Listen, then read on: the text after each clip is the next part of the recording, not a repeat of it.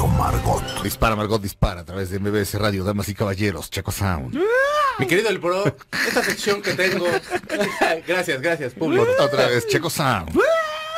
Gracias, público. Ahí les Tiene- voy. tiene- cases, bueno. no te cases, Checo. Cásate, pero conmigo, Checo. Pero como, como verán, Checo Sound tiene de fan a la rana René. Au. Exacto. La rana René siempre me ha caído bonito. Tenía un maestro que le decía también acá como la rana René. Sí, Nos caía muy bien. sí.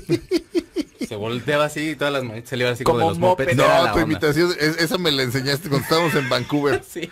Estaba yo todavía echado en la cama, el Checo ya se había levantado y me decía como un maestro que se volteaba así como la rana René. Digo, Es, radio, no se los podemos mostrar, ¿verdad? Pero era de risa.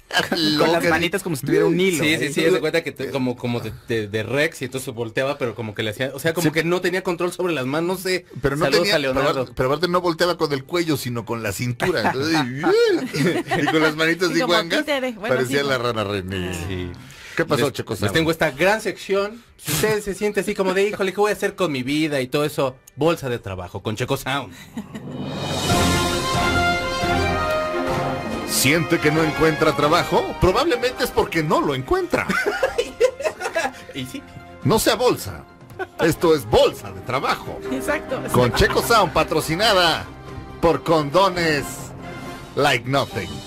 Como no traer nada. Embaracé a mi novia. Exacto, porque son como no traer nada. Condones nothing presentan bolsa de trabajo con Checo Sound.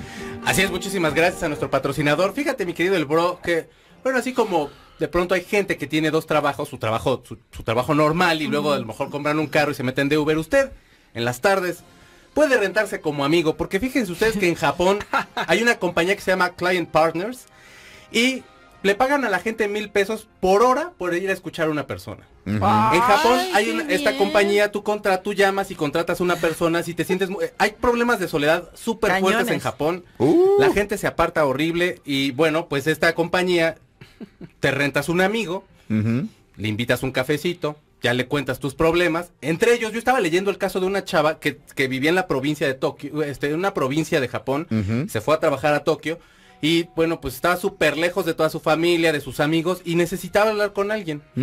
Pagó tres horas, o sea, pagó tres Tres mil mil pesos.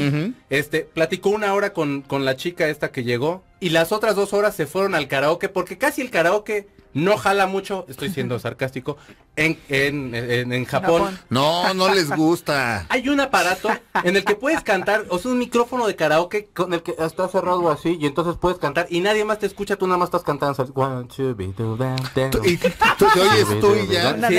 Para no molestar a Y la ya no a nadie, sí, porque si estás en la noche y tus veces están jetones también. One, two, be, do, da, Oye, ¿no? No, no, nada más te levantas así de, mi amor. Y nada más lo ves haciendo así. De todas formas, ¿estás haciendo ruido, menso? Te mueves. Oye, mi amor, sí molesta eso. Sí es como medio extraño, mi amor, que estés pegada.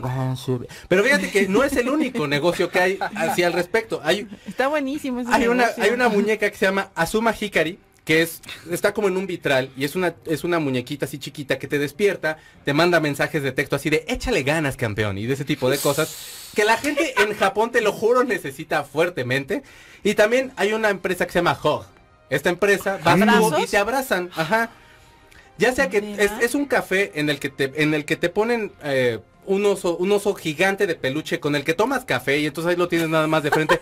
O lo puedes abrazar, o llega un especialista, que bueno, un especialista en abrazos, pues ya encontré mi chamba, porque a mí como me gusta abrazar a la gente, siempre me ha gustado, y entonces abrazas a la banda y también pagas, es una, es una muy buena lana, es por hora, y hace muy poco se agregó a esta lista una compañía que se llama Family Romance. Family Romance tiene mucho, en su menú tiene muchísimas, este, pues muchísimos servicios y uno de ellos es que tú contratas, yo los contrato a ustedes tres para que salgan en mis selfies. Aunque no seamos amigos, pretenden ustedes ser mis amigos y salimos los tres en mis selfies. Y entonces nos la estamos pasando súper padre. Yo decido la edad, el sexo, la ropa y la ocasión en la que yo quiero que ustedes aparezcan.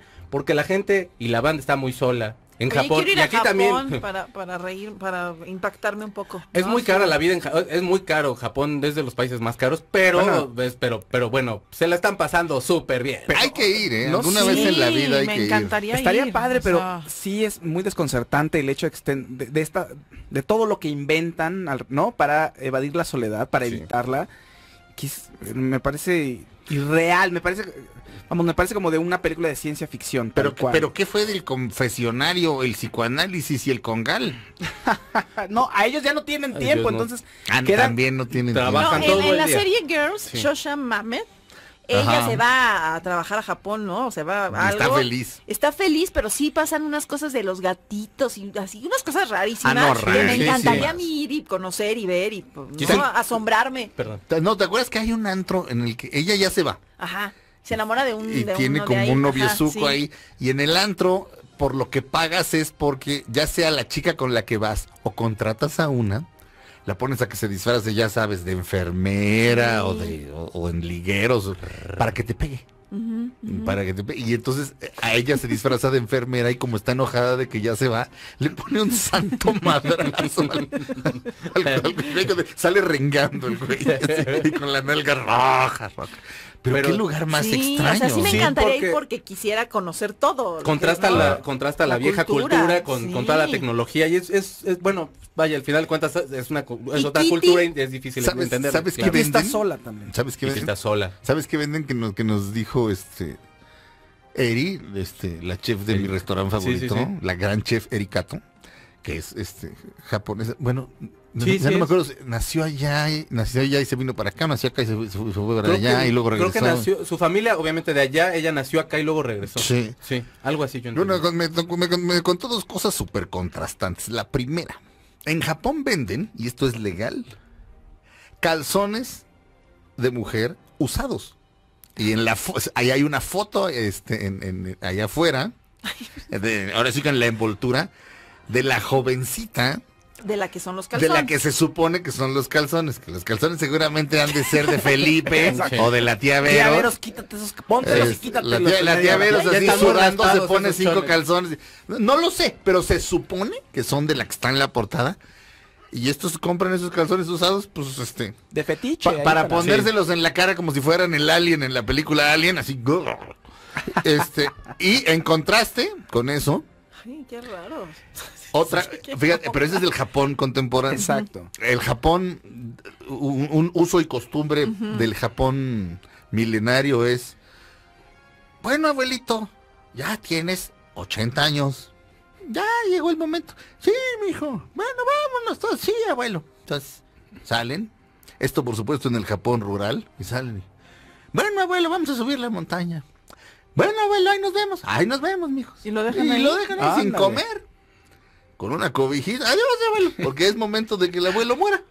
Y con, Vaya, un, abuelo. con un celular para que texte. No, no, te- no, no, no, nada. No, Vaya, no. abuelo. Tinder y se regresa. Ya, ya dejamos al abuelo. Abandonó el grupo. Ya es ilegal, pero se sigue usando muchísimo en, en- en- Ok. en el Japón rural. Claro. Sí, alguien me decía que es Sí, contrastante. vaya, abuelo. que la vida en Sí. Tokio o de- en las grandes ciudades es muy Deberíamos de hacer un viaje, pero a mí me gustaría ir, pero con varias, o sea, con varias personas, porque no sé, así como ir nada más dos, Sí. como que no, sino No, como una Scarlett bola. Johansson, acuérdate que estaba bien, bien sacada de onda. No. Vamos, pero Yo no me vayan a dejar ahí sola, ¿eh? Scarlett. Bueno, Claudia, adiós. Nos vamos con nuestras muñequitas. Yo voy, yo voy y nada más me quedo en el Hilton a chupar. Y dice, ¿Por qué? Es que soy como Bill Murray. Estoy esperando que llegue Scarlett Johansson y no llega nadie. ¿Y a qué fuiste? No, pues a un Hilton a chupar. Pues nada más. Sí, en el no pasé del lobby. ¿Te acuerdas que quedan de verse con unos amigos Sí. de, del marido de ella? Entonces, Bill Murray y Scarlett Johansson en Perdidos en Tokio. Entonces, sí, nos quedamos de ver en el café, no sé qué. Llegan y es un table dance. Güey, ¿por qué nos invitan aquí, güey? Y ellos muy normales, así de, pásenle, chavas. Y yo, pero así, ¿dónde vas? Sórdido, además. Así de, Sí, sí. No, Nel, vámonos. Pero igual acaban en un karaoke también. O sea, sí. es que el karaoke, el karaoke Es lo- es lo- siempre es así. Ella canta una de los Pretenders, canta Ah, Brass claro. in Pocket y él canta Peace, Love and Understanding de, de Elvis Costello y canta More Than This de Roxy Music, Ah, por cierto. Me encanta esa por canción. cierto. Qué bonito. Sí. Las dos grandes roles. Pues mi querido el bro, esto fue Bolsa de Trabajo patrocinado por... Y, y por los condones. Por los condones like nothing. Como si no trajeras nada. Embaracé a mi novia. Exacto, porque son como si no trajeras nada. ¿Vamos a un corte o qué? Ah, vamos a hacer una mención. ¿Sabes qué deberíamos hacer la sección mención y mandar a alguien a mingar a su chadre? Poner así una, un- una tómbola aquí, le das vueltas y sacamos. Que nos mande la gente. No, yo quisiera que mandaran a mi prima Lupita que mingue su chadre. Pero así que lo pudiéramos decir una sola vez al... al- Como la de Graham Norton que se aire. sientan en una silla y que Ay, si no cuentan, ajá, y que si no historia cuentan, ajá, divertida, sí, a todos los tiran. Así le voy a hacer yo, pero con ustedes. Si la nota no está chida, ¡ah! Ah, O te volteas como en, en la voz. Ah. Exacto, Exacto. si te interesa la nota te volteas, si no, no. Exacto. No.